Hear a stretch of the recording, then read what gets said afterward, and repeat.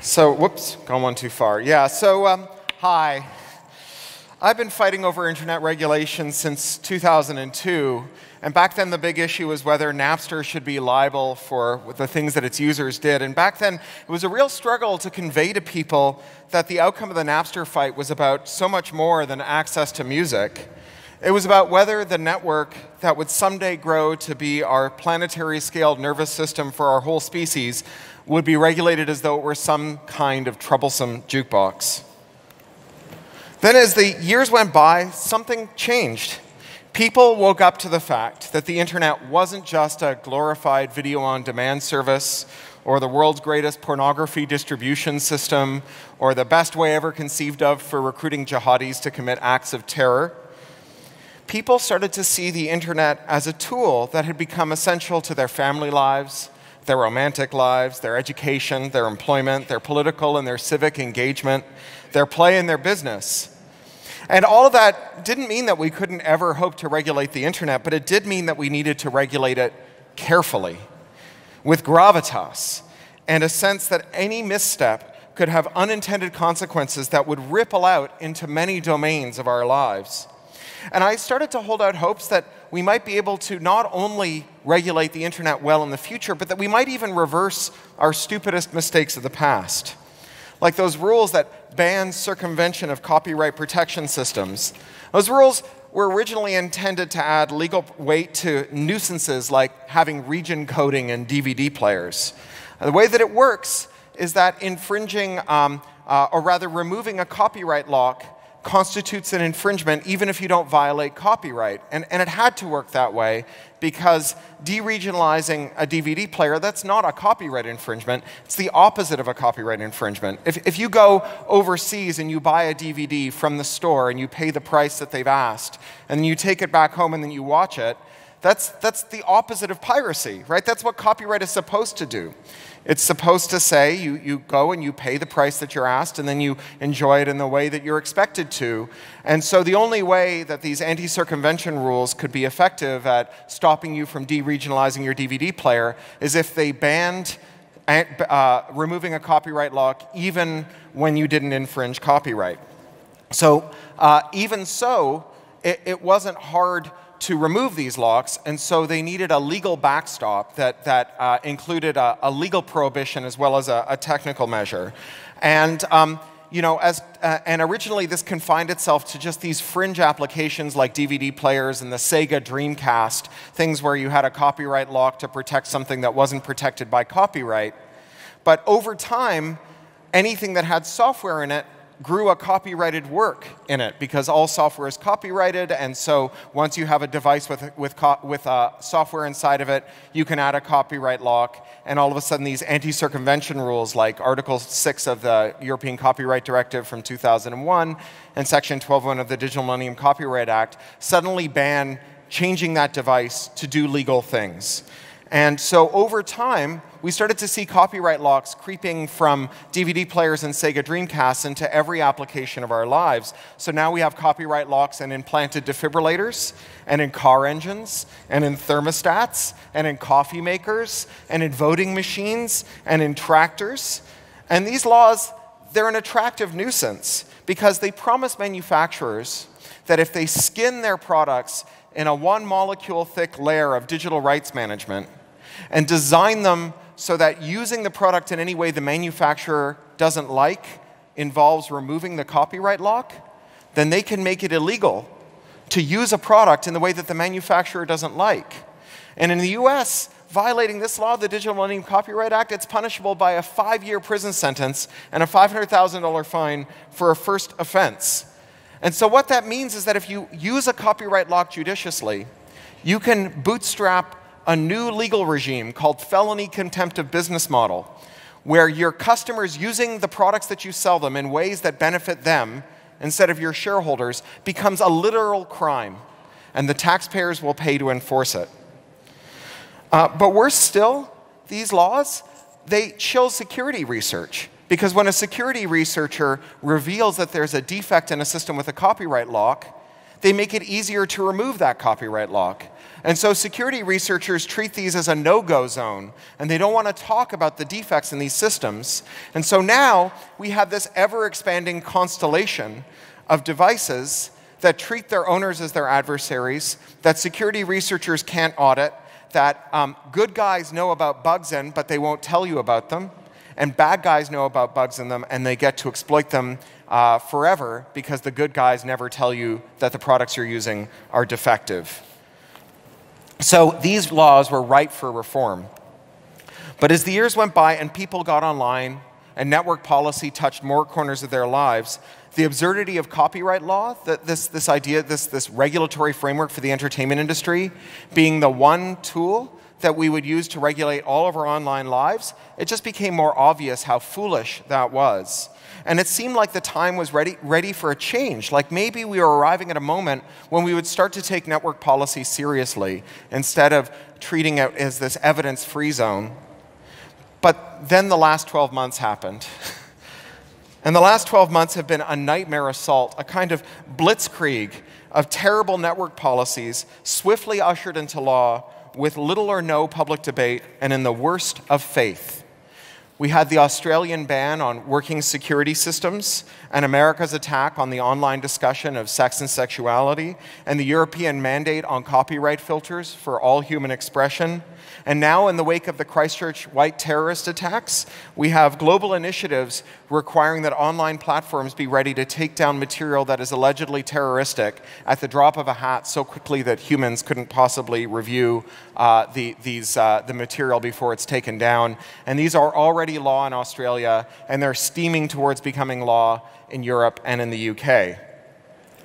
The last year has been a real time, high speed Chinification of our Western internet, a system where our networks are increasingly subject to surveillance and control that has not been dreamt of since the old days when every uh, communication that we had electronically went through one state owned monopoly telephone company that had total control over who spoke, who they spoke to, and could monitor any one of those calls.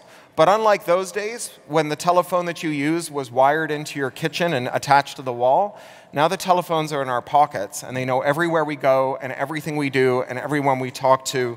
Um, and those are now subject to a kind of control that even exceeds the control that we had in the day of the telecom monopolies. And unlike those days, if you want to spy on all of our communications, you don't need to hire a giant room full of Stasi snitches to listen in. Unlike those days, we can now just get an algorithm to listen to everybody. And I want to take a moment before I go on to how we got here to just review in detail all the terrible stuff that's happened in the last year because in 2019, news comes at you fast and it's easy to miss things as they happen. So let's start with the ban on working cryptography. Since the late 1980s, law enforcement and surveillance apparatuses have been warning that if everyone had access to cryptography, uh, that terrible things would happen. Until 1992, the American uh, National Security Agency, they classed any working cryptography as a form of munition and they refused to allow civilians to have access to working crypto. And instead, they had a toy uh, scrambling system called DES 50 that they said was so strong that bank robbers and criminals and foreign spies would never break it. But at the same time, it was so weak that the NSA could break into it to spy on bad guys if they absolutely had to. And in 1992, the Electronic Frontier Foundation represented an undergraduate, uh, or grad student rather, at the University of California at Berkeley named Daniel J. Bernstein, DJB, who's now a very famous cryptographer. And DJB, he was publishing strong cryptography as open source, as free software on the early internet before the web. He was publishing it on Usenet, uh, which was a messaging platform, and who's posting source code to it. And we argued to the uh, Ninth Circuit and the Ninth Circuit Court of Appeals that publishing source code was a form of expressive speech and was protected under the American Constitution, under, under uh, the, the First Amendment. And the Ninth Circuit agreed with us, and then the Appellate Division agreed with us. The National Security Agency, they didn't like their chances at the Supreme Court. And since then, we've all had access to working cryptography. Cryptography that works so well that when you take a picture with your phone, if the full disk encryption is turned on, which it is by default now, then before the picture is even saved, it has been scrambled so thoroughly that if every hydrogen atom in the universe were turned into a computer, and it did nothing between now and the death of the universe but try and guess what key was needed to unscramble your picture without asking you for the password, we would run out of universe before we ran out of possible unscrambling keys. So crypto really works. Um, and today, every one of us uses strong encryption all day long. Uh, every network we use automatically encrypts our data between us and the router. Every Bluetooth device we use automatically encrypts our, our keystrokes so that they can't be intercepted uh, by people who are standing nearby us. Um, when your computer or your printer or any other device receives a software update from the manufacturer, we use crypto to make sure that it came from the software manufacturer and that it wasn't inserted by a malicious party in order to attack you by either compromising your device and steal its data or compromising your device and having it break into other devices on your network. Um, crypto protects the integrity of your data and it protects the integrity of your communications, and it protects your devices. It's what stands between you and identity theft, or someone murdering you by compromising that computer in your car or in the defibrillator implanted in your chest. Which is great news uh, if, if you want to protect yourself from malicious attacks. But authoritarians have never given up on the project of breaking working crypto, and they cite the four horsemen of the information apocalypse whenever they say that it's time to get rid of crypto at last. Those four horsemen are pedophiles, terrorists, criminals, and drug dealers. And they insist that it is possible to ban working crypto but still make people safe from criminals. Now, the former Prime Minister of Australia, Malcolm Turnbull, he was very big on this. He said that he was going to ban working crypto in Australia, but he would nevertheless have crypto that would protect Australians from bad guys. And when mathematicians told him that it violated the laws of mathematics to say that we would develop an, an, encryption system that worked perfectly when bad guys were trying to attack it, but failed perfectly when good guys were trying to attack it. He said the stupidest thing in the history of internet regulation. That is a crowded field, but I think you'll agree that he wins. He said, the, law of, the laws of Australia prevail in Australia. I can assure you of that. The laws of mathematics are very commendable, but the only law that applies in Australia is the law of Australia. Now you laugh, and you should laugh because it's, it's, it's risible that a grown ass adult in a suit with high office said this thing. But a year later, Australia banned working crypto. And they passed a law that requires any technology company with a nexus with the Australian government to insert backdoors into their crypto on demand. So that's what's happened in the encryption wars in the last year. Now let's talk about everyone's favorite subject sex. Uh, the world's democracies, when the internet came along, they needed to figure out how to relate to the internet, um, what, what the liability regime would be. And the answer they came up with is something we call safe harbors. And um, the, the, way that safe harbors work is they try to preserve a platform for speech, but also uh, create a streamlined system of justice for people who are harmed by that speech. So let's think about how this works in the offline world. In the offline world, people who are party to bad speech are often liable for it. So if you're a bookseller and your bookstore has an infringing book, under many copyright systems, you, the bookseller, can be held liable for selling the infringing book, even if you didn't know it was infringing, even if the publisher promised you that it, it was in compliance with copyright law. And so people who are uh, aggrieved under copyright law, they can pick the person in the value chain with the deepest pockets, the publisher, the printer, the bookseller, and they can go after them, one of them or all of them, uh, and, and, uh, and get justice out of them. Now, um, that would be really hard for people who provide online platforms for speech because uh, you couldn't possibly hope to evaluate everything that a user said on, say, Twitter or even on your local bulletin board system for people who really like cats and knowing that everything that's posted to that bulletin board complies with copyright law and hasn't been pasted from another cat board by someone who really liked a message and wanted to pass it off as their own. And so it would be impossible to have a platform for speech if you were on the hook for copyright. And so what safe harbors do is they take platforms off the hook for, for bad speech acts by their users. But people who are, uh, who are damaged by those users' speech, they get something in return. I used to be a bookseller and I worked in a bookstore.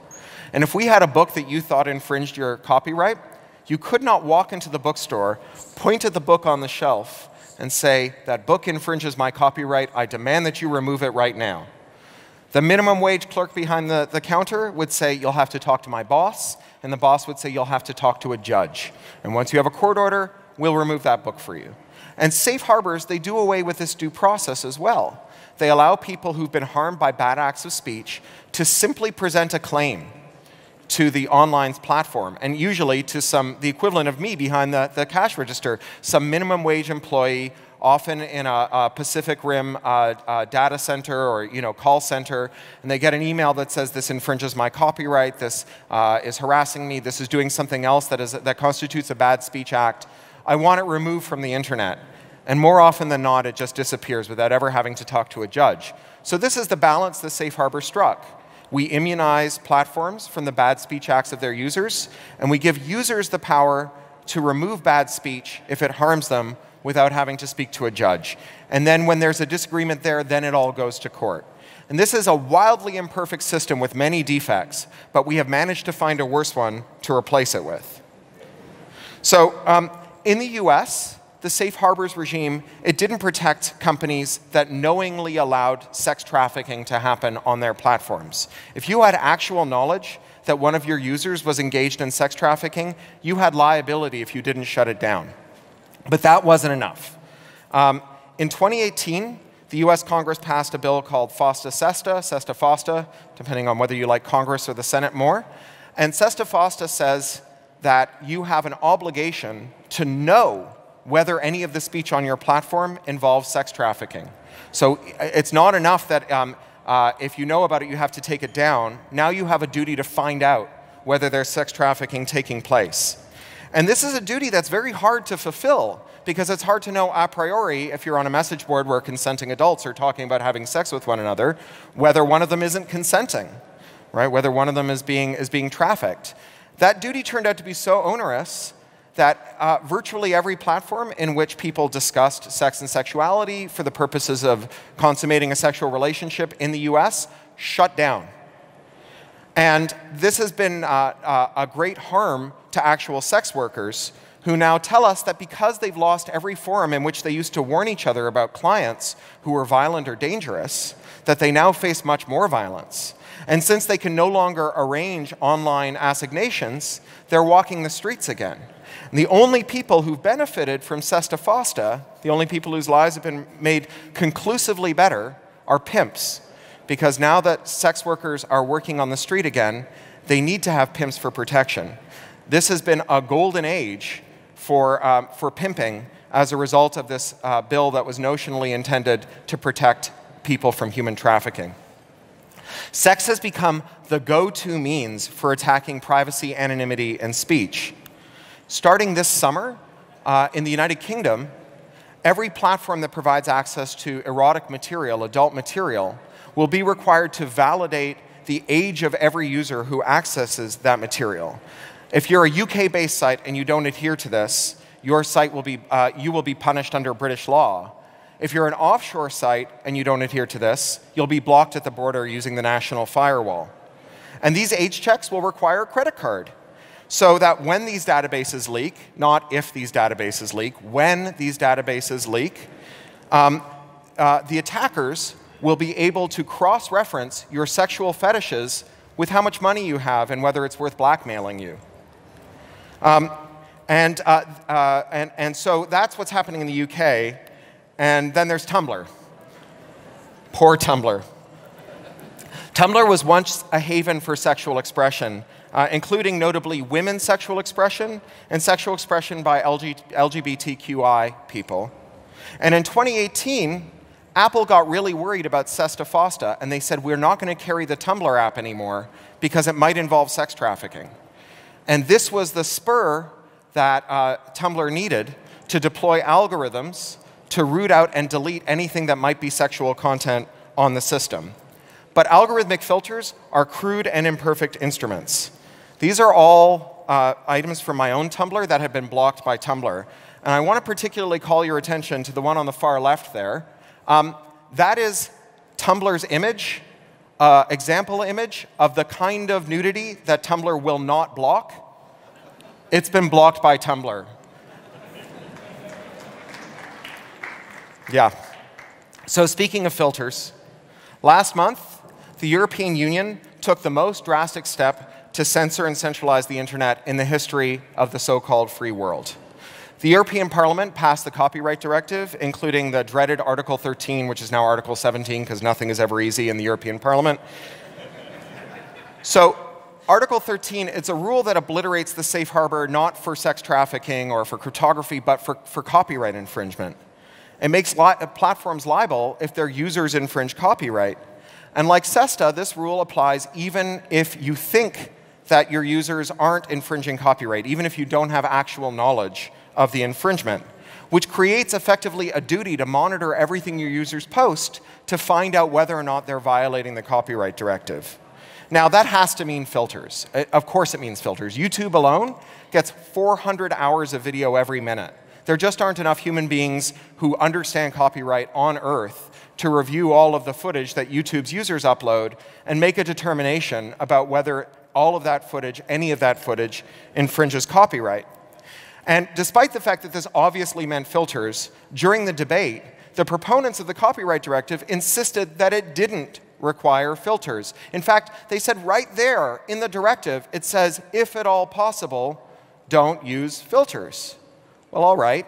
If I made a law that said I require you to produce a large, gray, charismatic African land mammal, and it must have four legs and a tail and tusks and a trunk, but if, it, but if at all possible, it should not be an elephant, I would still get an elephant. And if we say the directive requires that you know about all of the things your users post and make sure that they don't infringe copyright, and you have users who post more than any human moderation team could review, you will always get filters. And now we know, of course, that it means that we're going to get filters um, because within days of the directive passing, the French government announced that it would transpose this into law with filters. And then the German government admitted that it would probably need filters too in its national implementation. And then the commissioner who pushed for this said that, of course, it was going to require filters, despite what he'd said earlier. So in 2017, Germany became one of the world's great net, net exporters of privacy rules. In 2019, Germany and France teamed up to take away from America the World Cup for exporting the world's worst privacy and censorship regimes. Everything we post from now on is going to be compared to a database of copyrighted works and blocked if an algorithm thinks it looks too much like a copyrighted work. But of course, when I say it's going to be matched against a database of copyrighted works, that's not quite true. It's going to be matched against a database of works that someone says are copyrighted. But there's no checks and balances in the system to determine whether or not all the works that are included are copyrighted. There's nothing to stop someone from claiming the works of uh, uh, uh, William Shakespeare or the alphabet or the song Happy Birthday, and it's blocked until someone goes in and pulls those records out, makes a determination and pulls those records out. And when we propose that there should be a rule that punishes people for negligently or deliberately adding material to, the, to these copyright block lists that they don't own the copyright to, that proposal was shot down in flames. And so, after the directive goes into effect, you might have uh, uh, images of a cop hitting a protester at a demonstration disappearing thanks to a spurious copyright claim, or a picture of a company's effluent pipe dumping toxic waste into your drinking water. And the remedy will be to get in line behind everyone else whose materials were unjustly blocked and ask to have it unblocked. But there's more. Because just two weeks after this directive passed, there was an act of terrible white supremacist violence in New Zealand where a, a, a terrorist shot up two mosques in Christchurch. Uh, and in the wake of that attack, which was live streamed on Facebook, everyone around the world has been getting in line to figure out how to punish the platforms for letting this happen.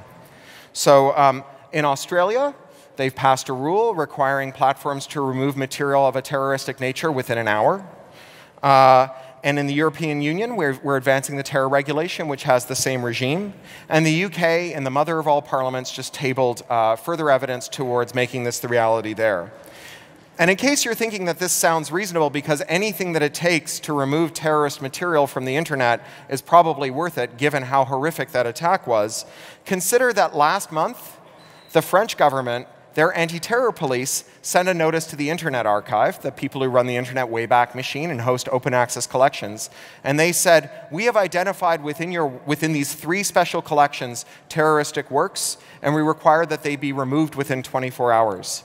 The three collections they identified were the Gutenberg Archive, which is every public domain book that's ever been scanned, 15 million text files, and the Internet Archive's collection of Grateful Dead recordings. They gave them 24 hours to sort through this, but under the pending EU terror regulation, they would only have one hour to make sense of it, and they would face being blocked at the border uh, if, if uh, they failed to comply. And these uh, demands, they're not signed by a judge, they're not reviewed by anyone.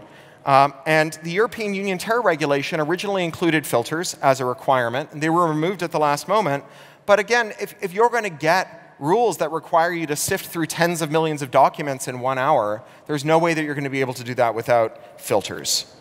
Uh, almost overnight, we have gone from an internet where speech had the presumption of innocence, where your speech was in innocent at least until someone accused it of being guilty, to one in which all speech is guilty until proven innocent. Everything that we post is run through black box algorithms that make a judgment in the dark whose deliberations we're not privy to about whether your speech fits into these nebulous categories like sex trafficking or terrorism or copyright infringement or extremism. And this all happened on our watch. And it happened in large part because we hate the platforms and we hate them for good reason, right? No one is happy about our internet future having turned into a world that consists of five giant websites filled with screenshots from the other four. But ironically, our desire to punish the platforms is a reward in disguise. Think about how filters are going to play out. Google has already spent $100 million building a filter for YouTube. Uh, it's called Content ID.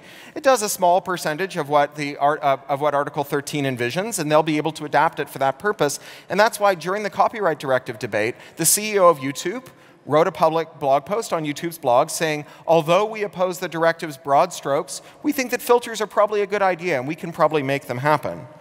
Because while Google's first preference is obviously to have no regulation, their second preference is to have regulation that's so onerous that only Google can comply with it because there aren't any European tech startups with an extra 100 million euros kicking around to roll into filters when the, when the rule comes into effect and when they become liable to enforce under it.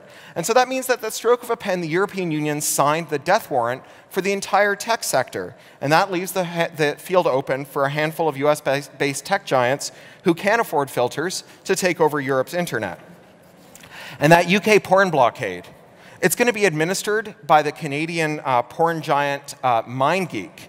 And MindGeek's holdings include Pornhub, RedTube, uh, YouPorn, Brazzers, Digital Playground, Men.com, Reality Kings, and Sean Cody. And this is a company that grew by taking any competitor that it had its eyes on and allowing uh, clips to be uploaded to its own platform uh, in a way that deprived those, those rivals of their uh, revenue that they got from their paywalls. It waited until they were brought to their knees by not uh, getting those payments, and then it bought them for pennies on the dollar. And now that company will be in charge of all of the competitors that it hasn't yet taken over, and it will get to determine their destiny too. Is it any wonder that Mark Zuckerberg went to Congress last month and said, please regulate Facebook? He's betting that with Facebook at the table, any regulation that, that Congress makes will be regulation that Facebook can afford.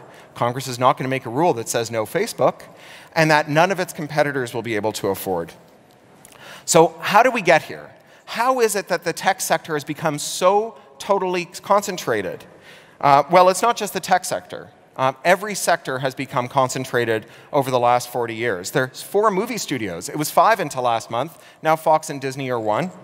There's um, uh, four record labels. There's five publishers for now, but soon there should be four because the word is that Simon & Schuster will become a division of HarperCollins. Um, and there's only one eyewear company left. If you're wearing glasses, just have a look now at who made them. If your glasses were made by um, Armani, Brooks Brothers, Burberry, Chanel, Coach, DKNY, Dolce & Gabbana, Michael Kors, Oakley, Oliver Peoples, Persol Ralph, uh, Polo Ralph Lauren, Ray-Ban, Tiffany, Valentino, Vogue, and Versace, or if you bought them at Pearle Vision, Sears Optical, Sunglass Hut, or Target Optical, or if they were insured by EyeMed Vision Care, or, uh, or if your lenses were made by Essilor, the largest maker of lenses and contact lenses in the world, they all came from one company, a company called Luxottica in Italy. And only that, there's only one wrestling league left. There used to be 30 of them. Now there's one. It's worth $3.5 billion. It gets to class its employees as contractors and not give them medical care, which is why they're dropping dead in their 40s. And when you ask tech sector investors how it got so big, those people have lots of answers. They'll tell you that it's because tech has first mover advantages and it has network effects. But that doesn't explain why everything that's not tech got so concentrated. Did wrestling get affected by network uh, effects, by first mover advantages? I think to understand how everything got so concentrated, we need to go back to a very special year, 1979. That's the year the first commercially successful personal computer hit the, hit the market, and that's the year that this guy hit the, command, hit the campaign trail and made a successful bid for, pregnancy, uh, for presidency. Beg your pardon. And Reagan wasn't alone. Reagan was part of a cohort of politicians who all came in around that year. You had Margaret Thatcher in the UK, Brian Mulroney in Canada, you had Helmut Kohl here in Germany, you had Augusto Pinochet in Chile, obviously didn't get elected.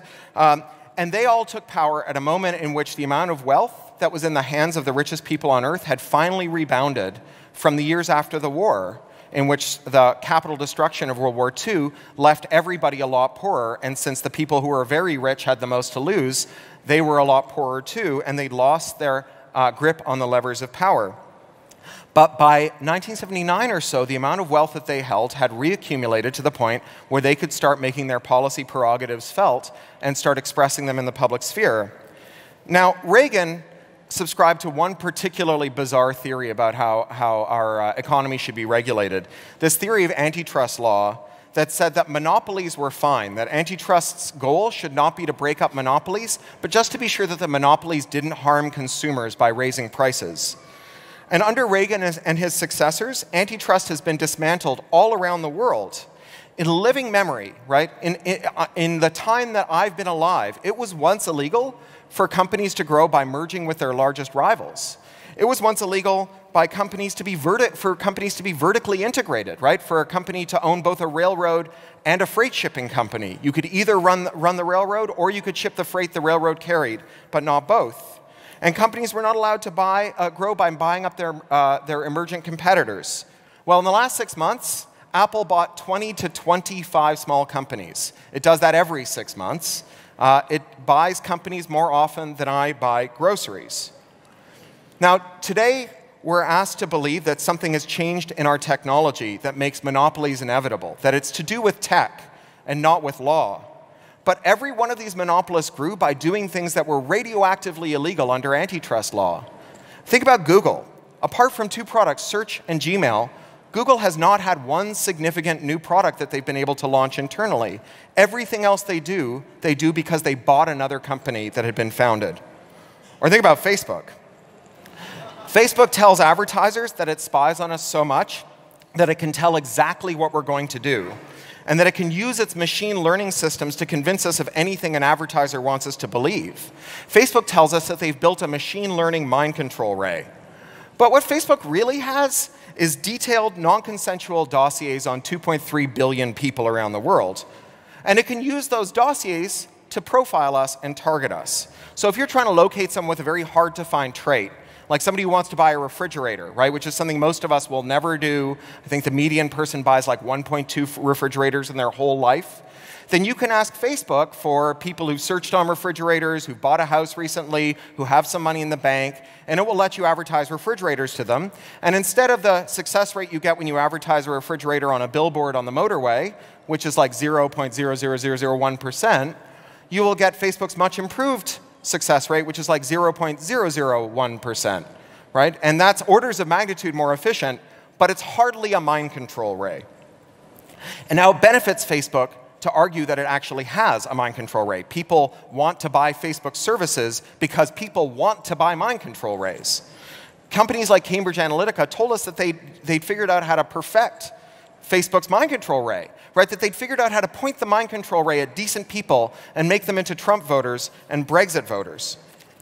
But isn't it more likely that what they did was use these profiles to find racists and convince them that Trump and Brexit would be what they wanted?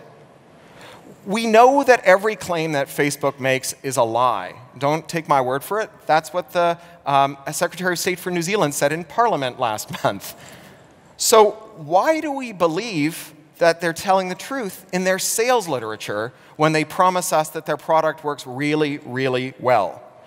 And even when you see a Facebook like company that manages to change our behavior in these great big ways, what we find is that very quickly they regress to the mean. I remember the great Farmville apocalypse when everyone I knew disappeared into Farmville and didn't emerge for three months, but then they did right? Because most of us get inured to stimulus over time. We stop uh, noticing it. We get, we get a callus over our attention. Some people don't. That's why there are people in the casino wearing adult diapers, spending their children's uh, college savings on the slot machine, right? but most people do, and it's very hard to build a business as low margin as Zynga out of, uh, out of that tiny rump of people who remain vulnerable after the initial rush. Which is why Zynga, with all of the money that they made from Farmville, never managed to replicate Farmville's success. There is a Farmville 2, but no one's played it. Now, users don't like Facebook, but they also can't escape Facebook because it holds their friends hostage. And even when they want to leave Facebook, there's nowhere else to go. 15 million Americans aged 13 to 34 quit Facebook last year and went to Instagram, which is a company owned by Facebook. Now, that whole Instagram story, it's like a, a fairy tale about why we shouldn't have screwed up antitrust law. Um, few of us remember this, but for the first 10 years that Facebook was in existence, it billed itself as the pro privacy alternative to MySpace and to Orkut. They said, we have to have a walled garden, otherwise, these bad actors will ingest your data and use it to target you with advertising. The first time they re released a targeted advertising product, the Beacon, they issued a groveling apology and promised they would never target us or surveil us or profile us again. But each time one of its competitors died, Facebook expanded its surveillance.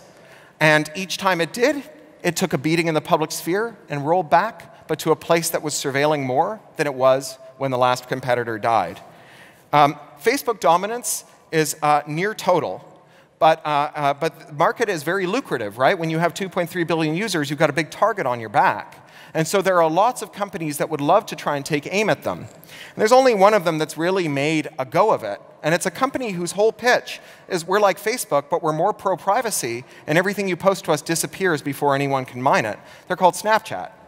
Right? Snapchat is the only competitor that Facebook has, uh, that has managed to survive Facebook, and it shows you that what people want is a place with their friends and not spying. Right? That's, why, that's why Snapchat has been so successful. People left Facebook by the millions to join Snapchat. So what did Facebook do? Well, Facebook had bought a spyware company called Onavo. Onavo originally made a product that it deceptively described as a battery monitor, uh, what it did was spy on everything you do with the phone. Later on, uh, Onavo morphed into a VPN that also spied on everything you did with the phone. It used that to surveil how people were using Snapchat and to identify that acquiring Instagram would be a good hedge against the departures for Snapchat. And then it used it to refine Instagram's features based on what former Facebook users who had Onavo installed on their phone were doing with Snapchat. So today, despite a market hungry for privacy, we have no privacy uh, social network. Um, Facebook owns the users, it's not going to let them out.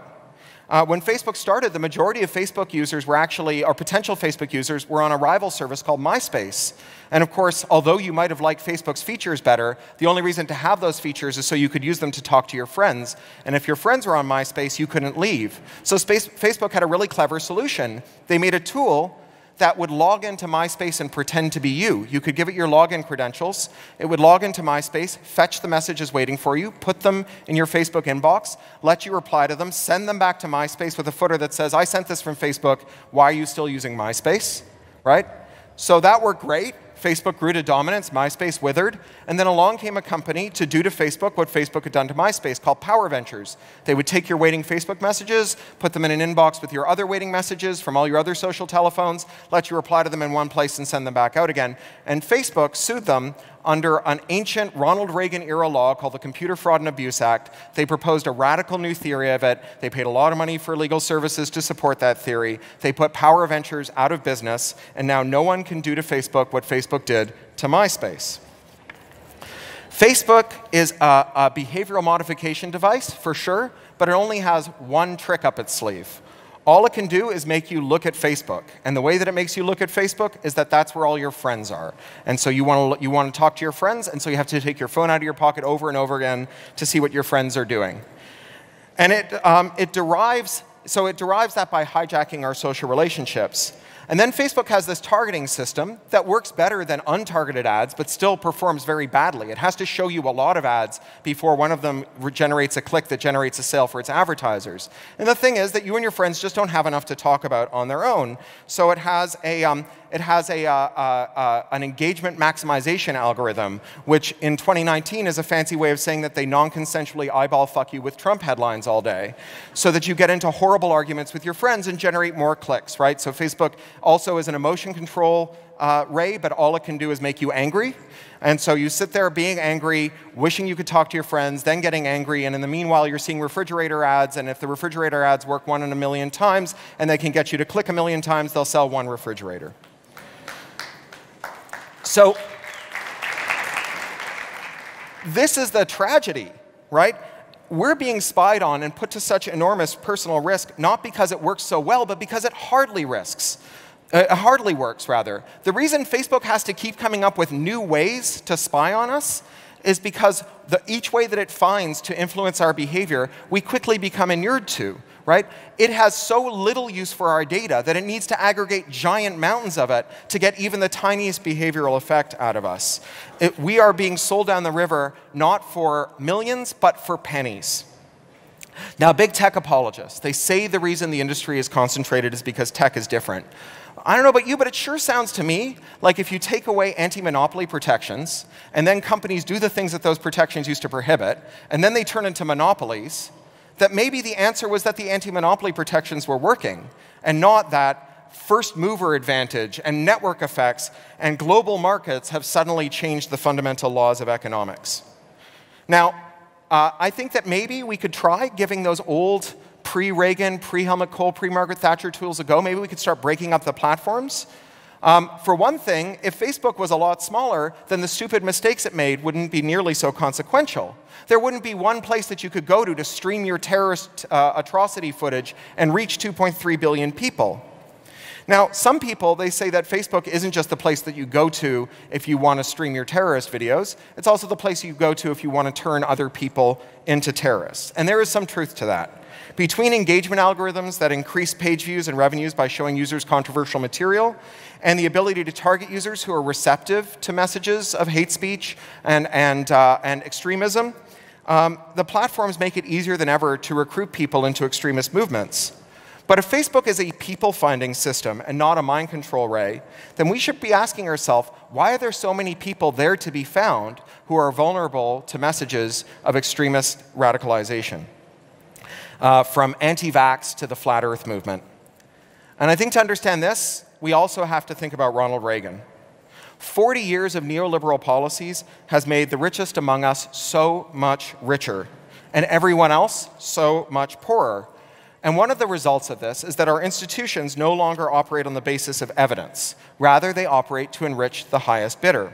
So, when you have a, a truth finding exercise to establish the link between tobacco and cancer, or carbon and climate change, or opioids and addiction, or the copyright directive and filters, uh, it's not paranoid or conspiratorial to say that the reason that the conclusion that our governments reach over and over again are, uh, seems so wrong is because the people we are paying to collect evidence are in the pocket of the people they're supposed to be acting as watchdogs over. And this creates a kind of breakdown, what I call the epistemological crisis. It's not that we no longer agree on what's true, it's that we no longer agree on how we know whether something is true or not. So think for a moment about the anti vax movement. It's not foolish to say, as the anti vaxxers do, that big pharma is giant and concentrated and ruthless and willing to murder the people that it's supposed to be helping if it makes more money for the company. If you need evidence of that, just look at Purdue Pharma and the other opioid vendors who spent a decade insisting that their products like, uh, uh, like fentanyl and OxyContin were not dangerous, not addictive, that we were under treating pain, and that doctors should be writing more prescriptions while they were uh, bribing doctors to write those prescriptions, kicking off an opioid epidemic that has killed people all over the world. And in America, it's killed 200,000 people, more Americans that were killed during the Vietnam War. So it's not foolish to say, why should we trust the pharma companies? It's also not foolish to say that the regulators are letting them get away with murder. After all, when an industry only has four or five uh, uh, large companies in it, then anyone qualified to regulate them is probably drawn from the executive suite of those companies. You know, the last FCC chairman in the United States, the good one that Obama appointed, Comcast lobbyist, right? The new chair FCC chairman, the bad one that Trump appointed, Verizon lobbyist, right? There are no people who are going to end up in that seat who aren't an executive at one of those companies, and anyone who's an executive at one of those companies probably worked at two or three of the other ones and is married to someone who worked at the remaining two. So it's inarguable that pharma companies are corrupt and that the regulators are letting them get away with murder. So it's not unreasonable to reach the conclusion that we can't trust either them or the regulators when they tell us that their products are unsafe. Now, I happen to think, I happen to know that vaccines are safe, vaccines are safe, vaccinate your kids, vaccinate yourself. But, and, I and though I happen to disagree with them on their conclusion, their logic is hard to fault. In the 21st century, people look to conspiracies to explain the facts around them because so much of the bad stuff around them is the result of a conspiracy.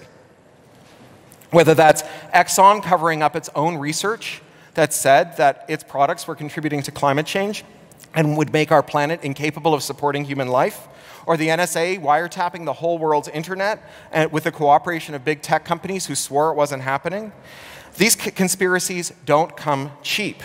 The authorities that help them along with their conspiracies, they expect handsome rewards, jobs in industry, uh, campaign contributions. Um, and this is the sort of thing that you can only pull off in a new gilded age where wealth and power have been concentrated and where industries have concentrated along with them. We won't make conspiracies implausible until we get rid of conspiracies. And we can't do that until we. Thank you. Uh, we can't do that until we tackle wealth inequality. If we punish the platforms for their monopolistic abuses by imposing new duties on them that normally states would perform, duties to monitor and filter their users, we just cement their dominance. Once we dreamed of an internet that was democratic, where we would all get a say in its future, where anyone could make an internet tool and it would exist as a peer among all the other internet tools on the internet. But if we invest platforms with state like roles in exchange for letting them grow to be so big that we could never break them up, because if we broke them up, they would be too small to enforce the terror regulation, to enforce SESTA FOSTA, to enforce Article 13 in the Copyright Directive, then we are ending democracy and we're putting in place a constitutional monarchy where GAFAM get to rule forever with the divine right of kings, and their power is only checked by an aristocracy of regulators drawn from their executive suite who ask them to uh, kindly don golden chains and restrain themselves through a sense of noblesse oblige.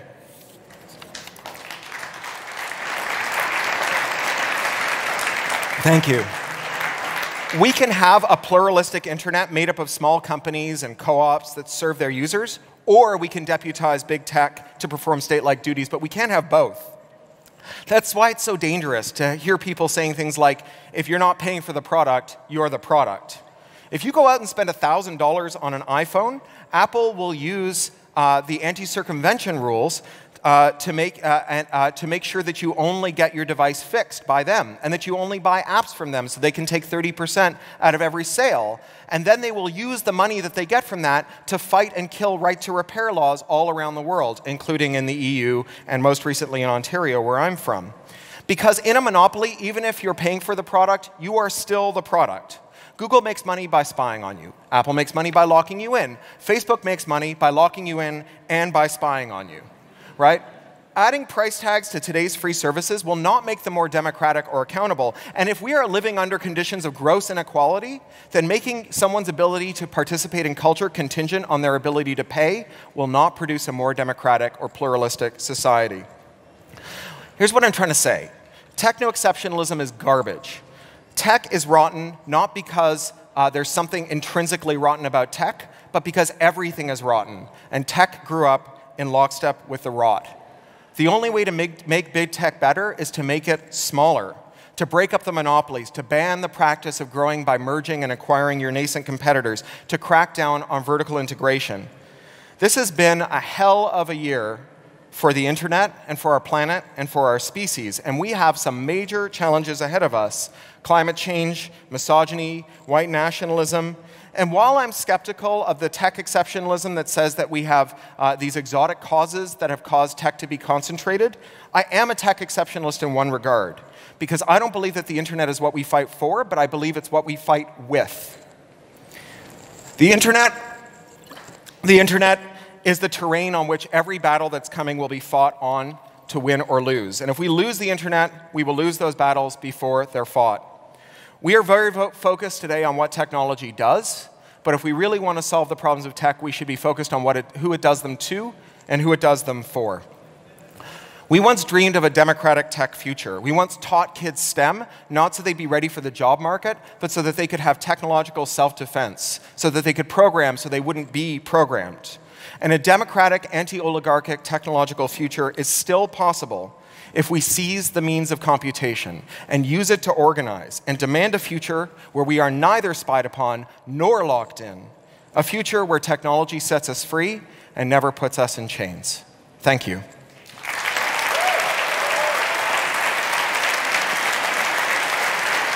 Thanks. So, thank you. Um, thanks. So, Thank you. Um, we have about eight minutes for questions. I like to call alternately on people who identify as women and non binary, and then people identify as male or non binary. And usually, when I say that, there's like kind of a pause because speaking as a man, I can tell you that a great plurality of the men have been spending a great deal of the time thinking up a cool question that will make them sound smart, and the women have been paying attention. But sometimes, if I tell that joke, enough time will have gone by that a woman or someone who identifies as non binary has thought of a question. So if there's someone who fits that description who'd like to ask the first question, if you could raise your hand, we have a mic runner. I can also vamp for a while before we get to it if someone wants to think of a question. Do we have one there? All right, thank you. Hi. Hi. Uh, what are the best options uh, for the elections of parliament in Europe to help us with these problems? What are the best options for the parliamentary elections in Europe? That is a really good question. Who should we vote for? Who, yeah, I don't know who to vote for. I uh, um, spoke with a colleague today who said that you should ask anyone who wants your vote whether they will refer the copyright directive to the European Court of Justice uh, for a judgment on its constitutionality. I think that's probably a, a good heuristic anyway. Um, you know, I, I, thank you. And, and I just, I, I, vote in the UK by proxy, so I just instructed my proxy on who to vote for, and uh, my vote's going for the slate that's been put forward by Extinction Rebellion for whatever that's worth. Yeah. Yes, ma'am. Um, thanks for inspiring talk. So I'm following up on the last thing you said. Right. Seize the means of computation. Yeah. So are you more dreaming of a sort of uh, anarcho-syndicalism, uh, or are you more dreaming of a regulated capitalism? So I think that um, our approach to how we should run our society should be on an evidentiary footing, right? So, so I think the question you're asking is what's best? And I don't know what's best, but I know how we find out what's best, right? So this is a bit like the scientific method, right? With the scientific method, we say um, not what is true, but how do we find out what's true? And the way we find out what's true is by having pluralistic, uh, rigorous, and accountable truth seeking uh, uh, uh systems of governance. And the precondition for, a, for a, a, an accurate and um, and accountable truth seeking exercise is that there can't be one player in the room that when they speak, everyone else has to listen to them. Because they will always clobber the truth, because the truth is always antithetical to the parochial goals of any one giant player. Because, and so my, my, my goal is first what we need to have is pluralism. So we need to have pluralism in wealth distribution, we need to have pluralism in industry, right? And from there, our, our regulatory apparatus will once again be able to establish different answers to different questions. When do we need markets? When do we use planning? And so on. But we can't hope to answer those questions unless we have a rigorous process. So it's, it's, it's as though we've reverted to the days of alchemy right? In the days of alchemy, no one exposed their conclusions to uh, rigorous review by third parties who disagreed with them. And so every alchemist drank mercury, right? Because no one ever told them that I think your evidence is poor because they never had to be accountable to an outside source. And right now we have like the, the we have very close equivalents in our policy sphere. You know, I, I, think that anyone who says, you know, as Justin Trudeau did, that um, Canada should continue to burn the, the filthiest oil on earth, the tar sands, because quote, no country is going to leave two billion dollars, two trillion dollars worth of tar of coal in the or oil in the ground, right? That that's that's just drinking mercury for the planet. Uh, in, in, West Virginia, where Dow Chemical is the largest uh, player in the largest industry, uh, chemical processing, they, they just had an, an evidentiary hearing on whether the um, national levels for uh, chemical runoff in the water should be uh, made more relaxed in West Virginia, which obviously they shouldn't. Uh, and, and Dow presented evidence, and they said they should be because the national levels are set based on the average body mass index of the average American. And in West Virginia, they're so much fatter that we can poison them more before they get sick. Right? So this is what you get when the evidentiary process is dominated by a single player, right? Like that's just, you know, like basically Dow, someone handed someone at Dow Chemical a piece of paper and there was a like, you are gonna get your goal if you write anything in this box that says reason. And they sort of, you know, um, drank some whiskey and came up with a reason. West Virginians are fat right? Give us our, give us our chemical runoff regime. And so I, I, I think that like presupposing the answer is, is uh, it's, it's ahead of, it's, it's ahead of the, the, the um, it's premature, right? That what we should have first is a mechanism that reliably produces good pluralistic answers that have the consent of the governed and have legitimacy, and then we'll figure out whether or not we are, uh, you know, living in an anarcho-syndicalist society or whatever. Thank you. Yeah. Hi, I've Hi. got a question relating to New Zealand, where I'm from. Yeah. And you mentioned that there's been a big pushback after the white nationalist attacks. And the Prime Minister of New Zealand, Jacinda Ardern, and Emmanuel Macron from France are hosting a summit next Wednesday to develop regulation. What would be an ideal outcome from your perspective for that summit?